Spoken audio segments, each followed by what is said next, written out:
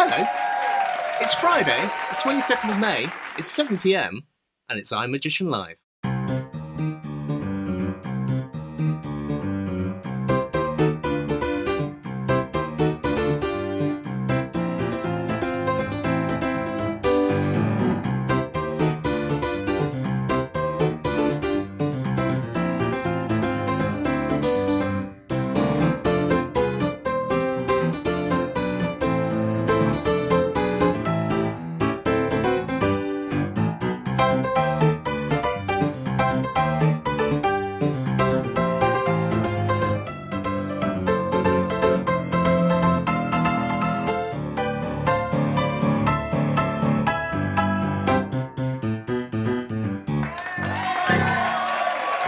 Everybody to iMagician Live. I'm Jamie Allan and I am joined by my fantastic co-hosts. For a start, Mr. Tommy Bond. Hello Tommy. Hi, Jamie, how are you? I'm very well, thank you. It's getting hotter and hotter, isn't it? It certainly is. I've spent a little bit of time in the garden this week. Yeah, good. No, it's good to hear. We all need to relax a little bit, Oh, and uh, I'm sure we're relaxing a lot. And uh, we've also got the magnificent Mr. Adam Heppenstall. Hello, Adam. Hello, guys. How you doing? All right. Yeah, I'm good, thanks. What have you been up to this week? Uh, I haven't touched any tools this week. Yes, Um, finally. It's happened. Yeah, He's put his happened. tools down at last. I've put my tools, step away from the tools. Uh, So, what have you been doing then?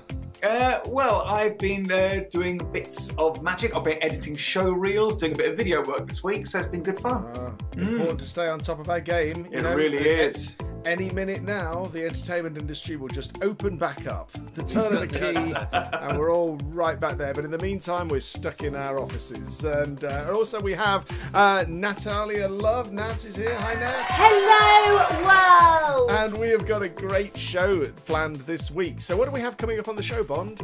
Oh, we've got the news of the week, and we've also got a great bad trick of the week. Should be good. Oh, good. A good bad trick of the week, eh? That's what we shall look forward to that. It's an oxymoron. there you go. Yeah, there we go. And uh, speaking of oxymorons, Adam, what do we have coming up? yeah, smooth, nice link. well, fresh from Illusionist, we've got the incredible magician, the incredible illusionist, James More. One worth watching.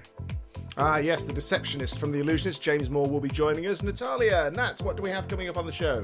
We have Matt Donnelly, the mind noodler, who is also the head writer of Penn and Teller Flawless. And also coming up later on the show, we've got the CEO of one of the largest manufacturers of magic sets for the general public. A man that has put uh, magic into so many people's hands and inspired generations of magicians.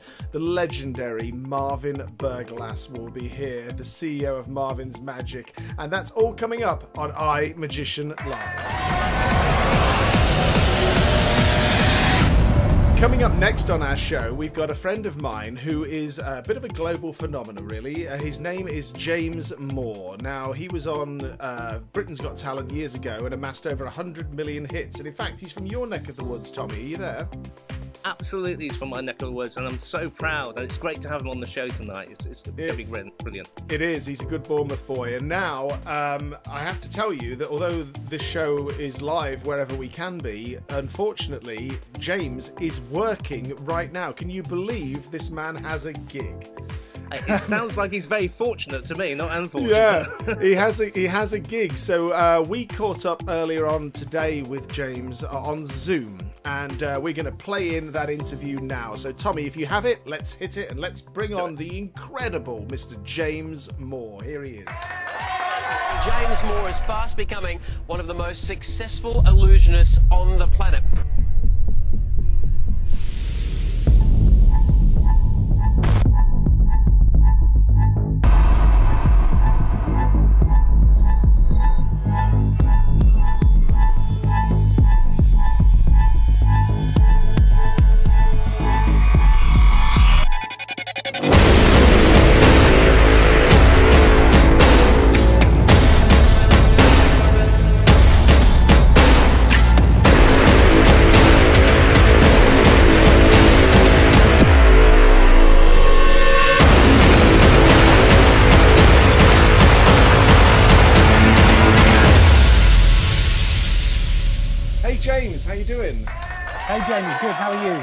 Yeah, I'm good. That's a hell of a setup you've got there. Where are you? Welcome to Portugal. I'm actually at uh, Studio 33 in Portugal. For those watching that don't know where that is, um, it's in the heart of Portugal, and it's a, a magic studio, a massive facility uh, designed and built not single-handedly by uh, magic superstar Luis de Matos.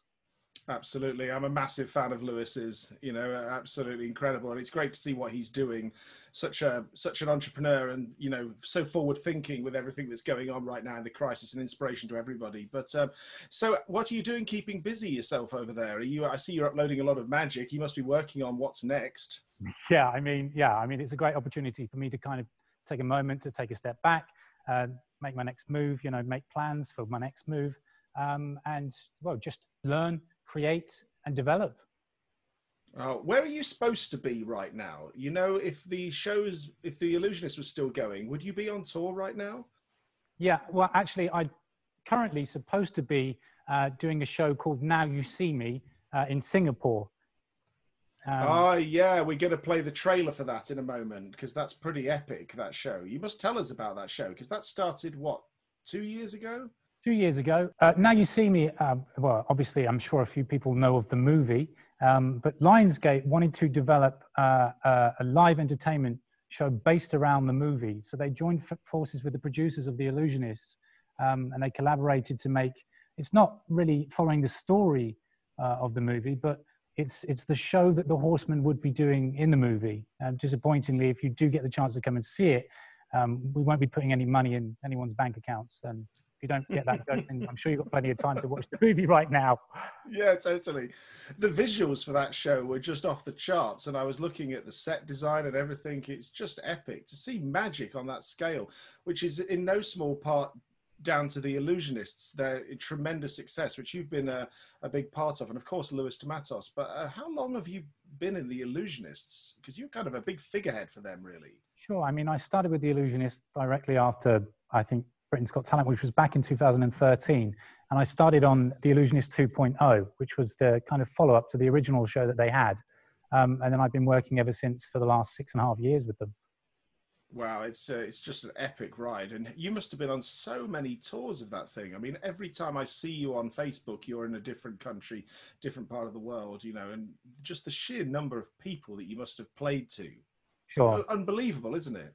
Yeah, and, and, and the thing with that show is, is depending on which tour you're on, the dynamic completely changes. I remember in America, there were so many one-nighters and we were on a sleeper bus. So we were all exhausted. I mean, we, we had a chance to stop at the hotel in the morning, take a shower, and then we were immediately into the theatre, uh, you know, loading in. Um, so it was very much intense. Whereas Europe is a little bit less strenuous. Um, we get a bit more time to ourselves. Um, and yeah, I really enjoyed, I really enjoyed being in Europe recently for people, we've got a lot of English viewers on this show, and a lot of them will have seen the production of The Illusionists in the West End recently. And although you bring some pretty big, big, big, excuse me, some pretty big gear onto the stage, you know, you were telling me that the shows in Europe are, are, a much bigger scale than what we saw in London, which was a lot more comedy and things. Do you carry an awful lot more gear when you were with the show in Europe? Well, the problem with London was that we were in such a small theatre and there was no space backstage. So we were limited in terms of what we could do at the Shaftesbury. A lot of English theatres are very, you know, small uh, in terms of size backstage. So yeah, Europe, we, we had trucks full, trucks full. So we could just take, take whatever. And yeah, well, it's interesting because somebody told me about the illusionist that they also felt with the british audience that they would engage more with the chat and the comedy but i disagree with that because uh, you were a massive hit in that show. I mean i was sat in the audience on two occasions watching it and you could just feel the energy when that stuff's coming on and off the stage. It was uh, it was really something so i wish i could see it uh, in europe. When do you think the show will return? Have you any bets when you think it might come back or? i mean i imagine probably kind of yeah, probably midway or at the end of next year before this, you yeah. know, crisis is over. Um, but I'm sure yeah. it will return. Yeah. Yeah, no, it'll come back, and you'll come back stronger and bigger. I was going to ask you, like, what your ambitions are, James, because you've been associated with these mega brands for so long, also whilst creating your own brand and your own fan base. Uh, over 100 million hits on YouTube. You know, you're no, uh, you're no stranger to celebrity. So, what is your next move? What's your ambition and your dream, James? I mean, I think over the next few years, I just want to develop material. I've, you know, I, have always wanted to just do the best I could at what I do. Um, and I've, I'm always learning. I've never kind of felt like a celebrity or I've never felt at the top of my game. I've always kind of just kept learning, um, you know, from inspirational people such as Luis. Um, and there is so much more to learn. So I don't want to put out my own show until I'd feel comfortable um, with it being something that I'd be happy to see. So Yeah. I, I think I'll spend the next few years touring uh, with you know shows like The Illusionist, gaining that, gaining more experience, developing new material and good material, and then I think in a few years I'll probably put all that material into my own show. Yeah, and I think you'll be a big hit because you have the one quality that can't be taught. You know that you are the show. It doesn't matter what you're doing, whether it's something small or whether it's grand. You have a great style and a look about you and your presence and everything is something that can't be taught. It's a star quality, and you you certainly have it, mate. So That's very uh, kind. Thanks, Jamie. Oh no, it's absolute pleasure. I know you're going to come through this thing in flying colours, and um, right now we're going to take a look at some of your incredible work, and we're going to come back and say goodbye in a moment, James. But right now, let's take a look at the incredible Mr. James More. There's a very good reason why uh, casinos make us use these as opposed to real money, and that's because we have far less of an emotional attachment to them, and therefore we're not as bothered when they disappear.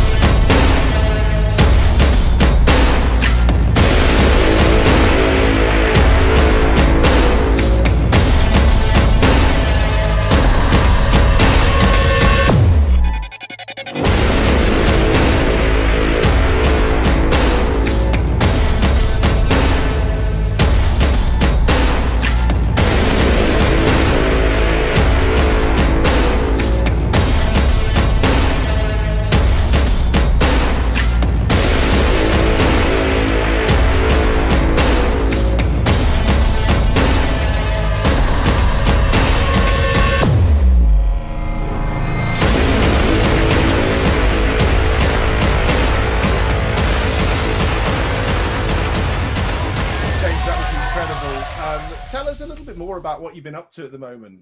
So, like I say, I'm, I'm in this facility in Portugal, and this is an amazing place. Um, it's got a library, you've got, you've got an in house theatre here. They're running live entertainment events outside.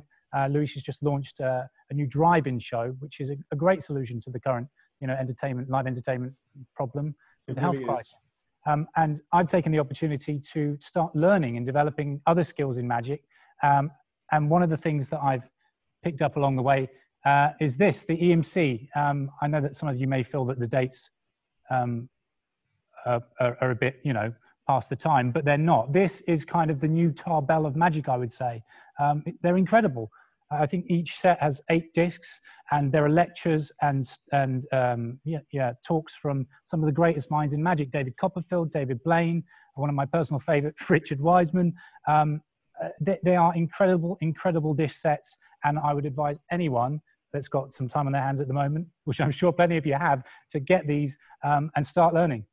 If I could dive off into my shelves here, I've got two of them right here, and they're incredible. Um, the, there's a thing on there where Luis talks about. We have get a lot of uh, normal people watching this show as well, so I won't talk about any methods. I certainly wouldn't do that anyway.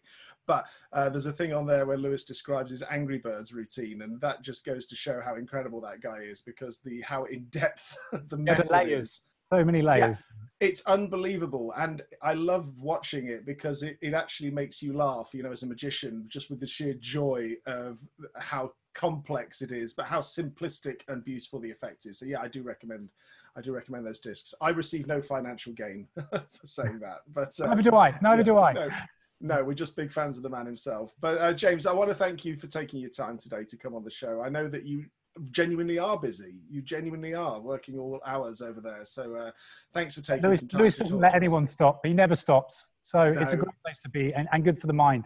It's very good for the mind. Well, give my best to Luis and Vanessa and uh, James. I want to thank you again for coming on the show. I really do appreciate You're it. very welcome. Thanks for having me, Jamie. Okay, no problem. See you later, James. Bye bye. Do you want to have a peek at bad trick of the week? Bad trick of the week, bad trick of the week.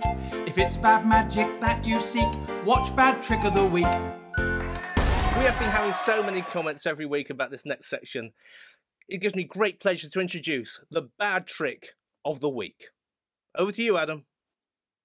Now, Tommy, I'm a little bit, uh, I'm a little bit uh, worried about this week, really, because I mean, okay, we're in lockdown. I've been searching through all the drawers, finding all the rubbish tricks that I've got laying around, and I've run out of rubbish, uh, rubbish tricks. I really haven't got anything. I, I mean, I don't know what to do. Um, other than you know, like the, the thumb trick, or I could do the bendy pencil trick. You know, where you make the pen. Oh wow!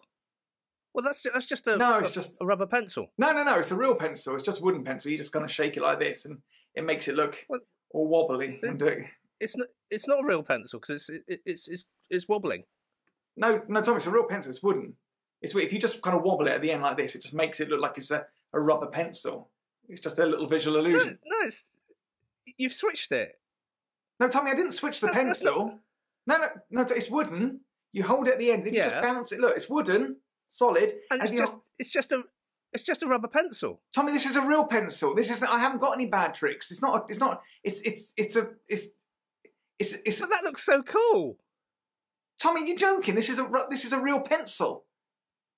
You Well, can't because it's, it's it's going up and down. As you Tom- do this, it's, it's Tommy. going up and down. Look, this is a real. You just shake it and it makes it wobble. Okay, it's not real, Tommy. It's a real pencil which you just make look rubber. It's not a rubber pencil. I'm not switching anything out.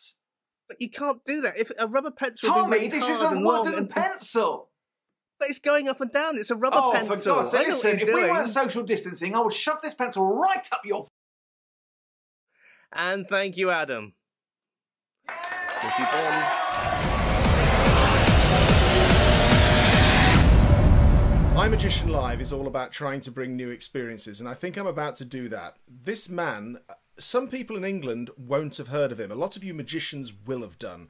Um, this man is very, very well known uh, in Las Vegas, and he has such a diverse portfolio. You know, he's like king of podcasts, in my opinion, because he seems to be on every single podcast that I ever tune into. Um, he is uh, a magician in his own right, but more importantly, he has a tremendous magical mind, and he has a great way at looking at presentation. I promise you, you're going to get some great insight from this, and you're going to want to know a lot more about my guest. Here he is, Mr. Matt Donnelly. Hi, Matt. Hi, thank you. That was such a tall order of an introduction. I thought you were talking about somebody else. I was excited. I was excited to hear this interview. Yeah, no, seriously. I, I was. You first came to my attention through the Sunday School podcast, which we're going to talk about um, Yeah, later yeah. on. Um, and then I realized that I believe we met first time on Fool Us. Um, yes, we did. were- yeah, and I didn't put it together at the time that you were the Most- same person. Most don't. Most don't. Uh, when you come on as a contestant at Fool Us, first off, you're constantly escorted around in secret around the Penn and Teller Theater because Penn and Teller can't see you or know that you're on the show until you set foot on the stage. And then, so I'm just one of the army of people that kind of jostle you around and find you and ask you a bunch of questions. So I know that I was like one of six people to talk to you about your background before you went on on stage. So most people don't remember me as an individual guy. I'm just part of this foolish army when you're there on the show. Uh, just if you're joining us at the moment, I said this at the top of the show, but Matt is the head writer on the show Fool Us, and I'm sure we'll talk more about that. Uh, but before yeah. Matt was a magician, and before he was uh, surrounded by this world, um, he was, a you know, a big a big name comedian, really. It's fair to say you did a lot. You won a lot of awards.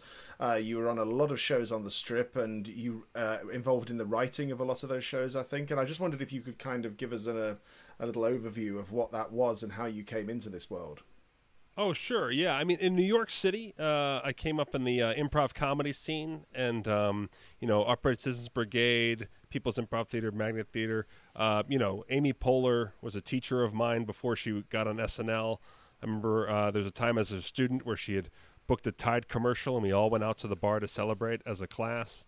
Um, and uh, from there, I just kind of stayed involved in comedy, and um, you know, myself and a lot of friends just found different ways to stay in. And uh, improv gives you a background where both you love to play yourself, you also love to play other people, which lends itself to writing. So I started writing um, sketch comedy and then writing for other voices when I got the chance. Um, I moved out to Las Vegas and I ended up um, meeting uh, Penn Jillette's wife, Emily Jillette, uh, and I kind of got into Penn Circle that way, right when they started doing a show on Discovery Channel. Um, and with my comedy background, there wasn't a lot of television shows being made in Las Vegas, so I, I just begged to intern on the show. Right. They let me intern uh, with them, and then Penn knew of my comedy background, so he let me write some jokes uh, for the script. Let me take a pass, and they kept um, enough of my jokes that they decided to hire me as a comedy writer from that point going forward. All right, so it's fantastic. And is it true, or is this just an internet rumor that you became a magician because Penn dared you to? no, that's very true. That's very true. I was running my mouth off, you know. Um, you know, as an artist, we always live paycheck to paycheck, but it just seemed like I was it was on like season four or whatever. I was doing my fourth season of Fool Us, and I was just t- I just talked to magician after magician, and they all are making a living in some capacity or another. And it just hit, it just dawned on me that magicians have different paths to make some kind of income. Uh, there's there's more diff- there's more paths to do that than there is in comedy. Comedy you can either hit big as a stand up or you can hit as a writer you know, but there aren't a lot of like lower tier. You don't do a lot of stand up at birthday parties. You don't do strolling stand up at, at, at really high end parties and fundraisers. You know, um, it's just really difficult. And so, uh, mouthing off to Penn, I was like, you know what? I should just learn four magic tricks and do what these corporate guys do. You know. And uh, Penn kind of heard me mouthing off, and he goes, "Oh, you should. You should learn magic. Why don't you just learn a trick and see how hard it is?" And I was like, kind of sweating because at that point I was, was co-host of his podcast, so I was used to kind of being challenged by him in the past for other things, and uh, and he said uh, it'll be harder than you think, but you might be better at it than you think. Listening to you on the podcasts, uh, the thoughts that you have about magic, your thoughts about its theory and its presentation, is far more in depth than most magicians than I know. I mean, I, I, went to a performing arts high school, you know, uh, a special school where you could specialize in acting at an early age, and went to college, you know, to study in university with with acting as well. Uh, always with kind of using comedy as my superpower. I started performing comedy every Friday and Saturday night when I was like 15, 16 years old, um, doing improv shows and stuff at, at, theaters, not like as part of school programs, but but out and about at, at theaters and stuff. Um, and so I spent about 20 years really kind of in that world um, performing in every kind of environment possible. So yeah, I think I had a huge advantage. I had a huge advantage of picturing the performance environment with the challenges of magic, and so I was like, oh, you know, Penn told me to learn a, a trick. Uh, rather than go to Penn first, I, I work with Johnny Thompson on Fool Us, and that's another thing. In terms of my background in magic, I was very lucky. I was in the room. I'm in the room for every rehearsal with Johnny Thompson, uh, Mike Close um, Andrew Golder, Lincoln Hyatt, like the producers of the show who've produced television talent, and the magic wing of, of, of Johnny Thompson and Mike Close. It's really incredible, isn't it? To come into magic and you've got best friends like Johnny Thompson, Penn and Teller, Piff the Magic Dragon. You know, that's a what a phenomenal knowledge these people have. It's stupid. No, it really is. I mean, it's just dumb. I I'm so lucky, and I know it because I struggled to break through in comedy, trying to break through as an actor, trying to break through as a stand-up, trying to break through as a writer. I mean, I book stuff. You know, I got little stuff, a lot of little stuff here and there. I, I, I have an okay resume, an okay IMDb page, or whatever it was, but I know the difference, right? So I know when you're gigging versus when you start to actually hit with something, and uh, to have their input from the very beginning is is silly. So like if if no one should ever ask me should should my career keep it going, you know, like how how do you get into magic? It's like you you can't do what I did. I can give you no advice. I was just surrounded by an embarrassing amount of first class help to get me started. Yeah, it was incredible. In fact, in a moment, we're going to play in the clip of you appearing on Fool Us because there's a moment when Penn and Teller see you coming onto the show and they look like they're just being wound up. Tommy, let's play that clip. Hey, I'm Matt Donnelly, and I have no business being a professional magician. I uh, started as an improviser, improv comedy. I moved to Las Vegas, and as luck would have it, became friends with Penn. So I co-host Penn's podcast, and I've been doing that for about six years. I got into magic on a dare. I kind of was mouthing off and saying like, I should just learn a trick. And Penn said, "You're right, you should." I think it's hilarious to go on Fool Us and mess with my friends. Right? What's your name? Morgan. Morgan. I knew that. I read your mind. No problem. Right over there. I can read Penn's mind. He's thinking, what the hell's Matt doing up there? I can read Teller's mind. He's thinking,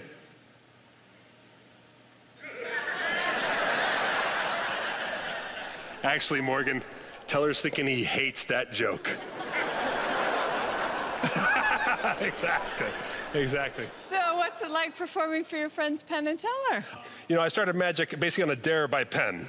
And so put a preview together of my first magic show. And so I can tell you, don't do your first magic show ever in front of Penn and Teller. Teller taught me a rope trick with a knife. I cut my finger open. I bled all over myself, and it did not go well at all. I'm very happy to, be, to get back here and at least do something pretty, pretty good in front of them. All right, let's see if your friends Penn and Teller figured it out. All right. All right, Penn, Teller, this guy. What the hell are you doing? Matt Donnelly is my co host on Penn Sunday School. We do a podcast together every single week. And yet, he has been keeping this from me for months that he's showing up on this show. Oh, I'm learning magic. I'm working on a few new things, Pam. I hope you get to see him someday. Won't that be fun? What tricks you working on, Matt? Oh, you know, just stuff.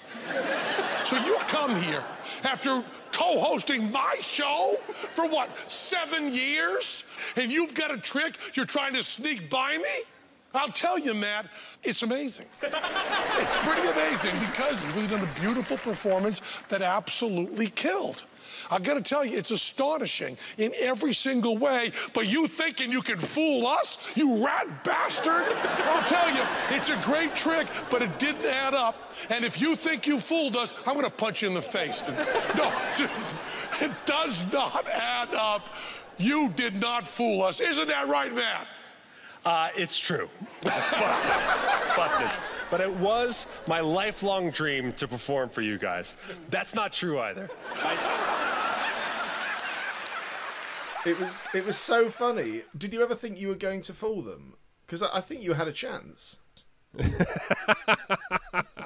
well, that's it. So um, when when Teller and Pensard are walking back to their chairs after I performed, Teller said, "Okay, so before he got out the calculator, you know, he started going over the facts, and Penn just said."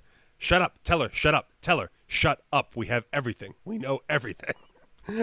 so, uh, so, so, so I was the only interview that they've ever watched. They just watched me get interviewed by Alyson because they're normally talking. Uh, they just so watched funny. my interview.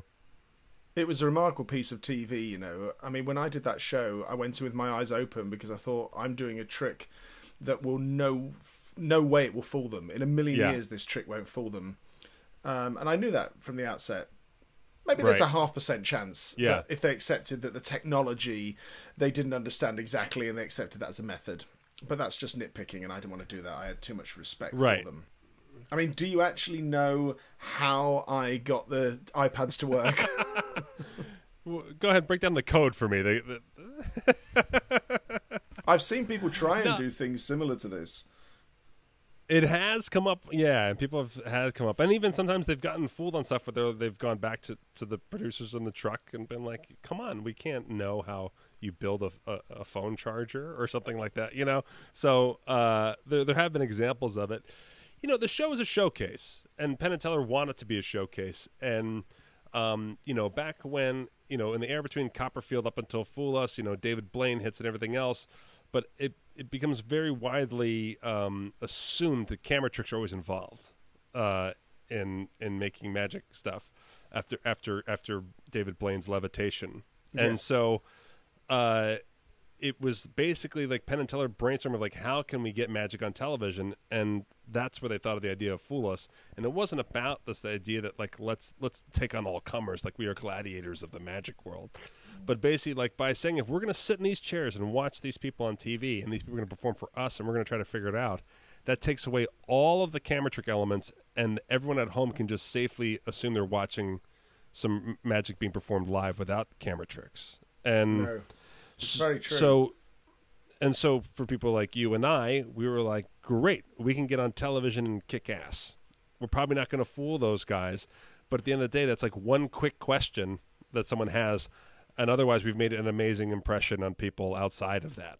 That keeps us, you know, working. I will say this in my experience that it is always the first question that I get asked.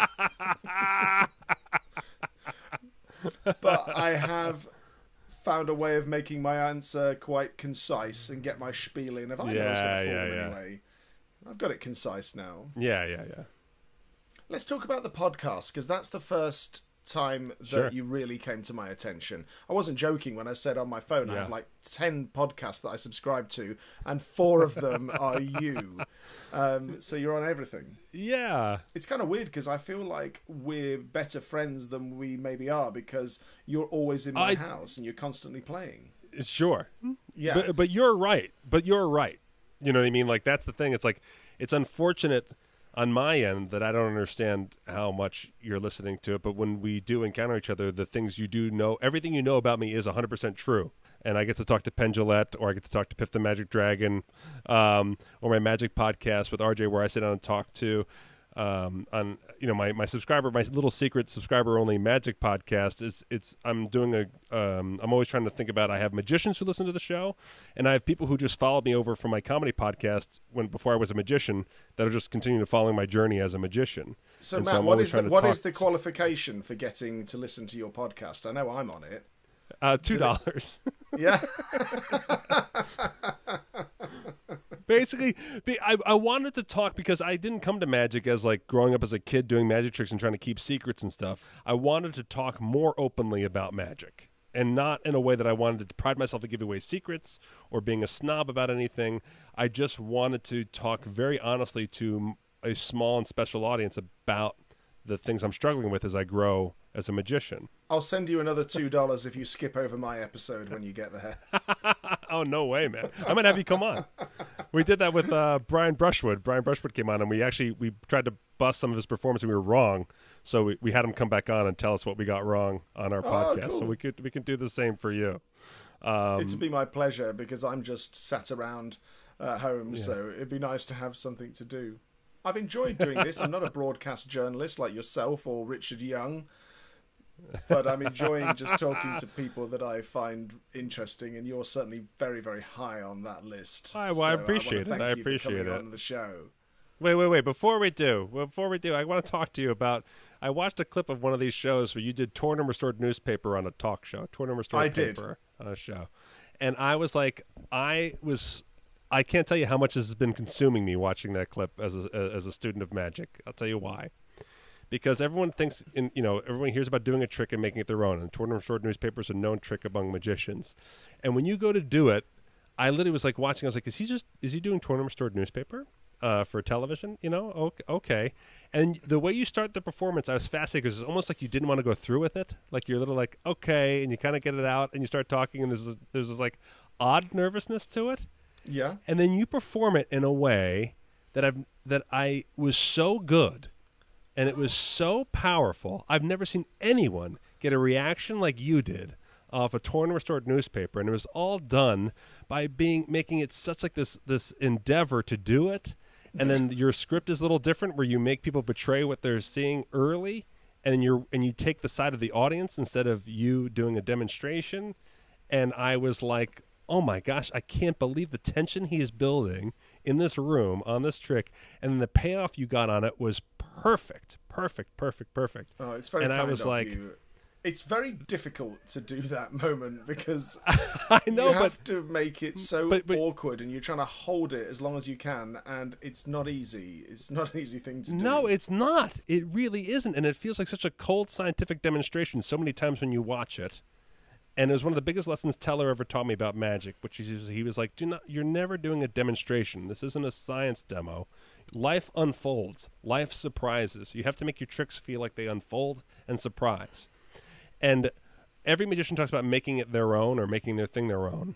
And in that trick, you really just make it your own by sheer performance skills, and it was awesome. And I Oh, like couldn't stop thinking about that clip. Oh, it's certainly really, really kind of you, Matt, and certainly coming from you because you really do know what you're talking about. I would not be doing that trick on Fool Us if I come back on. that would be like a, a triple bluff, a triple bluff of like he had to have done something different. Why am I- something we're missing here. Matt, it's been an absolute pleasure. Thank you so much. Thank you, Jamie. Yeah, yeah. Oh, Thanks you're for having absolutely me. welcome. Ladies and gentlemen, a huge cyber reaction for the one and only Matt Donnelly.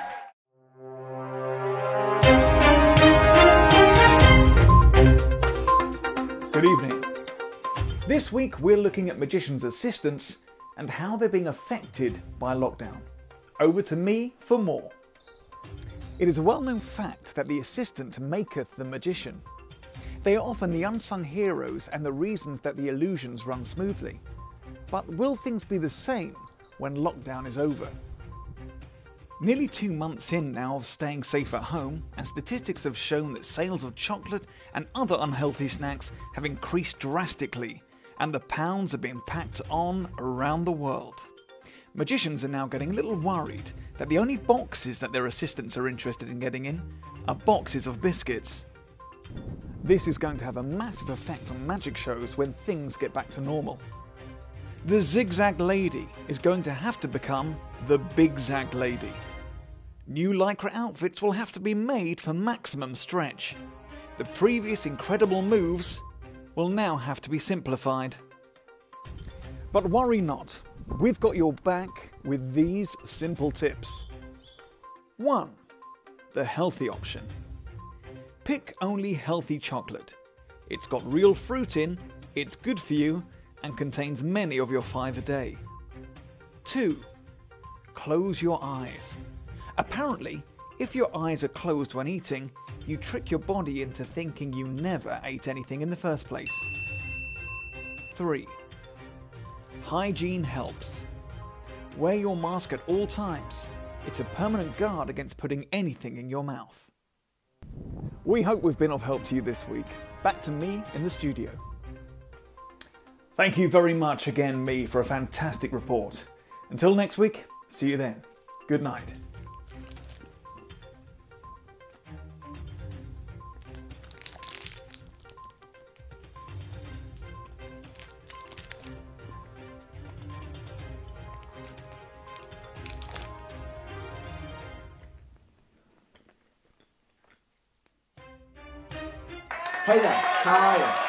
I'm Pete Matthews, and although I'm better known as a juggler, I started my career doing magic. At 16 years old, I went to work for Marvin's Magic in Selfridges in London. In fact, I also worked in Harrods, in Hamleys. I did the Ideal Home exhibition. And on a later trip back to Hamleys, whilst promoting a yo-yo for Marvin, I got Talent Scout spotted, I guess, and um, I went on to do You Bet, the TV show You Bet, and that led to my cruise career. And the rest, as they say, is history. The dynamic coins is a great little trick that Marvin used to sell. Two brass caps, and a brass ring. No doubt some of your young magicians, in fact, I reckon every magician's got a set of dynamic coins. The ring goes over the cap, you turn it over, you click your tap, and money appears. If only it was that easy. Marvin taught me many things. One of the most important things they taught me at Marvin's Magic was eye contact when you're de- dealing and talking to a crowd. Yes, sir, ma'am, young lady, hi. It's the same for selling stuff. You have to draw them in. Same as if you're doing close up. You need to be part of the moment. You need to be in the moment with the people. Good advice from Marvin. Um, I was working for Marvin's Magic, a golden era. It was. I, I was there with Mark Paul. I was there with Paul Foster. I was there with Nick Reed. I was there with Anthony Owen. Oh, Anthony Owen. I was there with Lloyd Owen, who went on to do some amazing things. Marvin didn't always employ magicians. He often employed, I'll work on that, jugglers, entertainers, actors, because he wanted charismatic people. Well, I've gone on to some great things, and my early career with Marvin kick-started it all. So, Marvin, I hope you're watching this. I'm pretty sure you are. Thanks very much for everything you've done for me, and you continue to do for lots of young, aspiring thespians. All right, Jamie. Once again, great show. Tommy, Adam, super duper. Great job. I said super duper. Yes, I did. Cheers, everybody. Take care. Bye bye. Our next guest is a massive inspiration to me. I like to consider myself a little bit of an entrepreneur, but I am nothing compared to this gentleman. He brought from, I don't want to say from rags to riches, but from nothing to the biggest magic company in the world in terms of selling magic to real people and inspiring generations uh, into the art form. And the art of magic owes this man a lot, and he has a tremendous story to tell us. And he is a fascinating gentleman. Ladies and gentlemen, the CEO of Marvin's Magic, Mr. Marvin Berglas himself, is with us. Hi, Marvin. Hey, Jamie, how are you? Oh, thanks for coming on the show. I know that you must be busy. Hey, in, even in this lockdown, your business is probably still active. Yeah, we are very active. Uh, thanks for having me. It's, it's, a pleasure to be here. Um, yeah, it's a mix. It's a funny time, of course, but uh, a lot of people are getting into their hobbies and having more time. So we're doing a lot of online business, and uh, obviously the stores are shut for the moment, but there's a lot of preparation. We've just come off all the back of our trade fairs and stuff, so uh, we're ready for the season. Yeah, when it reopens. Wow, I'm going to get into it, obviously a lot about Marvin's Magic, but before Marvin's Magic, there was just Marvin. who, um, how, how did you start in magic? Because you must have been a magician prior. Well, I, obviously, I grew up in a famous magical family that's well documented, and, and Dad was, you know, the, the you know, an inspiration to a generation of, of, of people who were into magic. But ironically, I wasn't that interested in magic as a youngster. Um, and Dad, when we went to school to keep our life uh, relatively normal, tended to come off the air in the UK, and he mainly worked abroad on TV series in in Holland and America and that type of place. So uh, I remember going to a couple of you know uh, shows and gigs with him early on, and I remember him doing some amazing stuff like you know, we just waved him goodbye and he was opening for the Rolling Stones once, you know, crazy stuff. You wow. look back and you think, this is incredible. But um, no, I, I, I, didn't exactly want to follow in his footsteps, but obviously, you know, I've always been passionate about magic. Uh, and, and, it came probably a little later on, on for me, from when I was about 16 or 17. But you've managed to do something which is different and you've carved your own place in the uh, dynasty of magic and you found a different direction and something that I'm sure you've made your father very proud of. Because hard to get into magic to follow David in. So speaking about my dad, uh, interesting story. Just literally found out over the last few weeks. Uh, I was seeing on Twitter someone put, you know, tell us something interesting about you, and and somebody wrote, I gave Austin Powers the tag International Man of Mystery, though I'd nicked it from someone in the stage. I got, I got in contact with this guy, and it turns out he, it's a guy called Rich Turner, who was uh, at uh, Cambridge University and, and, a member of the Cambridge Footlights, and uh, he basically went to Cambridge with uh, quite a few people like Neil Mullarkey and Mike Myers. And basically, it transpired when they were working at the BBC later that yes, he did like that title, International Man of Mystery. He had seen it in the stage. uh, is one of my dad's adverts, and it's only recently he put two and two together. But he absolutely acknowledges that International Man of Mystery, which was Dad's strapline at the time, it was uh, was from that. So that's nice. He's obviously quite unique, and I didn't really just want to be open to comparison. So I actually have always been fairly entrepreneurial, and what, what he has really helped us with is uh, his motto, which is "Nothing is impossible," and that really was an inspiration because uh, probably by the time I'd set up school, you know, left school, I'd done a couple of businesses before I set up Marvin's Magic, which I did when I was about 28 years old, uh, and uh, they were already two successful businesses which we kept on as well. So.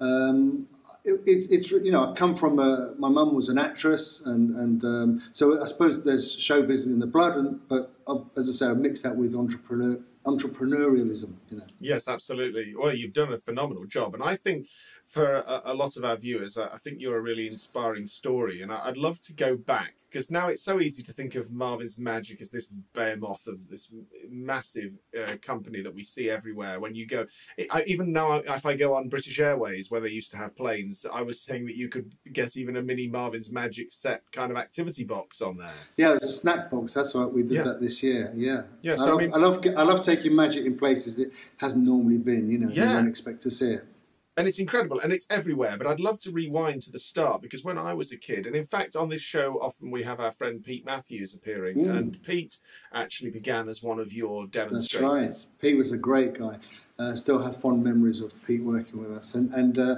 yeah, it's amazing. It's a who's who of, of, British magic, pretty much, of the boys who've gone on to demonstrate with us. But likewise, some of our customers have gone on to become professional magicians and TV stars as well. So it is a great inspiration, and I, am always humbled by that. So how did it start, Martin? You must have started with a very basic product line and thinking you're going to go in somewhere and try and sell it. And I'd love to know how you took it from nothing to there. Well, so what, was opportunities. I, I, was I was um, a demonstrator in Hamleys on a, on a, product which we still sell today called the Magic Drawing Board, uh, and it was very much a sort of my. I had a very instinctive approach to demonstrating right in front of the store and being quite flamboyant and enthusiastic. It was it was doing really well, and the then buyer knew that I had some connection with magic. And Hamleys, of course, used to be very famous for magic back in, you know, for a generation before that. So uh, they, they were having a, a, pretty rough time at the time with cheap far off, uh, far east knockoffs and that type of stuff. So um, I sort of light bulb moment came on and said,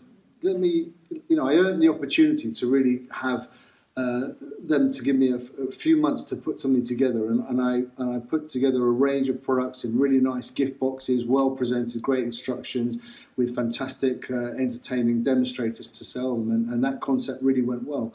Uh, it's almost a men's gift type of range, really. We put that together in six of the Hamleys stores all at once in October 1987, Halloween 1987. And from there, obviously, it snowballed. Then Harrods, Selfridges, F.A. Schwarz in New York, and then uh, just it just really you know went on from there really. There's a whole story of tv shopping after retail. How, how do we sell without demonstration? Because actually the demonstration is you know is not the biggest part of our business which people perhaps think it is. You know we sell to a lot of the supermarkets in fact and, and stores and online and, and we sell in 62 countries worldwide currently. Have you ever um, had or thought about actually opening it in its own store? Have you always felt that the vehicle is to get it in uh, big traffic areas? Yeah, I have thought about it, but as you say, the big traffic areas make more sense because you know there's nowhere better than Regent Street or Oxford Street or uh, or Fifth Avenue in New York or Rockefeller Plaza where we are now, where you've got hordes of people. Then you don't have to lock up at night. You've got, you know, and it's probably you have to put a whole bit of marketing to get people into where you are. And obviously, with rates and rents and stuff like that, it's probably better that we work directly with the store. That's the business plan that's worked for us the best, anyway. I bet our viewers are particularly interested in the creative of how you get a product and who sits in that room. Obviously, you yourself, you're a big part of driving that forward. But how does that come about? You know, we're going to launch a new product because you create tricks as well. You know, some people may be mistaken watching this thinking that Marvin's uh, rebranded popular stuff, but that was back in the day. I mean, you are creating creating original magic now, and that's a big process, especially the quantities you're talking it's, about. It's a great fun process, and you've got to put a different hat on because you've got to look. You know, we love magic, and obviously some gimmicks and things might seem really wonderful to us, but for the public, maybe they're not commercial enough. For so you've got to balance that. But I, I, am, I do head the product development side of things. I work very closely with Justin Monaghan, who was a demonstrator with us all those years back. And what's really nice is that if I look at my managing director, he was also an ex-demonstrator. He was an actor who was in Coronation Street and that sort of thing. And he's come, come up through the ranks. He's only 34 years old. He's the MD now. I've got a uh, my sales director came up through the ranks. And a lot of my staff have been with me for 15, 20 years, which is really wonderful. Well, that speaks volumes for how you treat them and how the company is as well, and how it will be going forwards. Is there any insight you can give us to anything that might be in development? Like, where is Marvin's Magic going in the future? Well, we're doing some very interesting projects. Obviously, the Marvin's Magic app has been really helpful because we try just to take, uh, you know, what would be a basic magic product that we have, but we enhance it. If you download the app, you've got you, you scan the inside of the instruction book and you've got all videos that can be done in different languages. You've got bonus tricks. We use a lot of augmented reality. For example, that you know, you, you obviously Jamie being an iMagician, you were very familiar with our iMagic, which won lots of awards, and and now a lot of that technology is we've put to all of our sets so people have that as bonus material. And, yeah. Um, well, I remember I iMagic well because we had a conversation about it at the time when uh, you were coming up with the uh, the title. I remember. That's right. Yeah. Yeah. yeah. It, so it was a, great, it was a great item for us, and it, it uh, interestingly enough, it is a good example. You know, it did win lots of awards, and we did sell hundreds of thousands over around the world. But it was one of those things that was so unique that buyers loved it, and it got into the stores. But it sold through okay, not brilliant, not one of our best, because it's actually hard for the people to understand or for the customers to understand immediately all the benefits to it. So sometimes you've got to balance that type of thing out, you know. Yeah, well, maybe I'll take a few of them off your hands uh, yeah. um, we uh, we sell a technology magic set, and um, we find that of course they've just been to a technology magic show, so they understand it and they have a trust in me because they've just seen me uh, there. So it works very well, but I don't think it would work at a point of sale.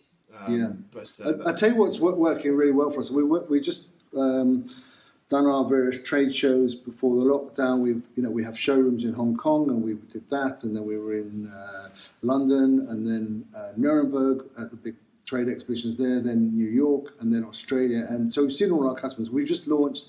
Uh, something coming out on in September, which I'm very excited about, which is Rubik's Cube have got their 40th anniversary, and they approached us, and we put together a really innovative uh, giant jumbo cube uh, which is a lovely box that you'd put on your mantelpiece because it looks like a big Rubik's Cube anyway, but it's a rigid box full of, crammed full of really interesting and fun uh, Rubik themed items. And I had the pleasure of working with Erno Rubik, who was the inventor of uh, the Rubik Cube 40 years ago. And me and my team, we, we, we showed him a lot of stuff and which he enjoyed, and that's that's hopefully something that people will, see shortly from well, September. Rubik's, you know you're good at following trends and rubik's cube magic is now a, a, big thing and i'm sure a lot of the kids are seeing it on tv and i can see that probably a few magicians watching this show will even be interested to get their hands on that. Yeah, so that great. sounds like um, that sounds like it'd be a great project. Marvin this is absolutely fascinating. You know i could talk to you all night about this stuff because i'm passionate about uh, business and entrepreneurs. And every time I talk to you, you're always so upbeat and you're always looking for answers that are yes and not looking for, you know, any kind of negative. And I love those kind of people in my life. So I, I really too. appreciate you taking Thanks, some time to come on the show, Marvin. You know, yeah, I really do. Um, Marvin, have you anything else that you want to tell us today?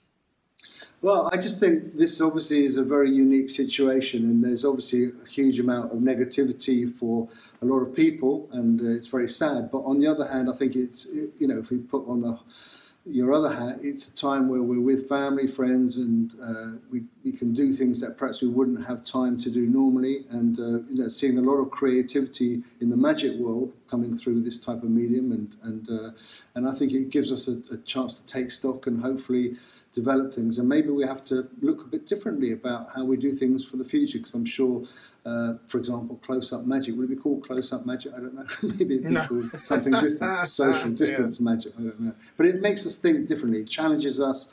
And uh, I think you know things evolve, and, and hopefully some good will come out of this serious situation. Well, hey, you know, we're one of the oldest uh, oldest professions in the world. I'm sure that magic will find a way to endure, as will Marvin's magic go from strength to strength. Thank you.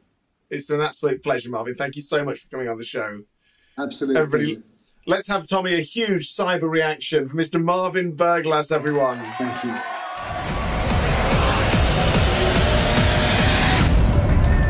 So much, everybody, for joining us. And of course, thank you to Marvin Berglas. That was fascinating, hey? And uh, what a great show we've had.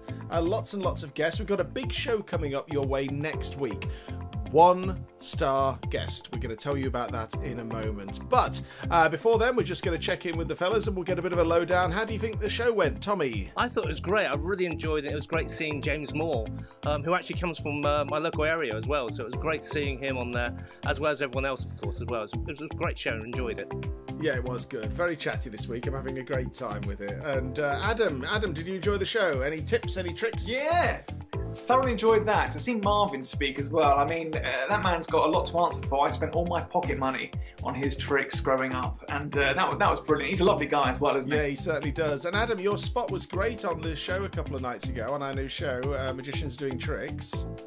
Oh, thanks, mate. It was great fun. Yeah. Great fun. Good response. Yeah, it was great. So you should go back and look at that, everybody. We've got a new live stream show out now, which is called Magicians Doing Tricks, um, and that show is on our same Facebook page. You'll find it below, and it's also on YouTube. So as always, I'm going to ask you uh, to follow us, uh, to follow us all. You know, to follow Nat, and uh, of course myself, and Adam, and Tommy, and all of our guests. You know, you'll find us on all social media. We really appreciate it.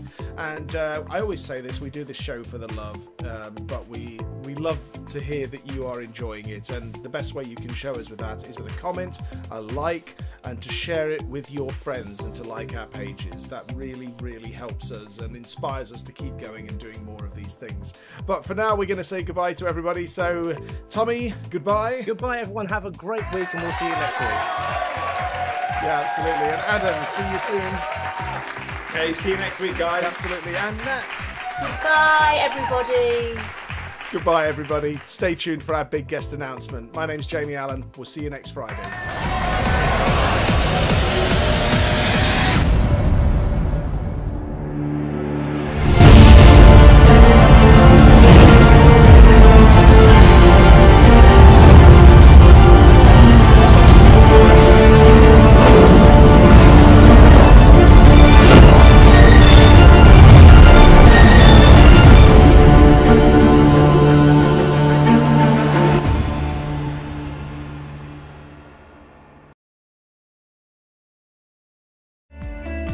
You're a fan of magic, then be sure to check out our public live stream show that runs on Fridays, 7 pm, on my public Facebook page. That is Jamie Allan, I Magician. And the show, of course, is iMagician Live.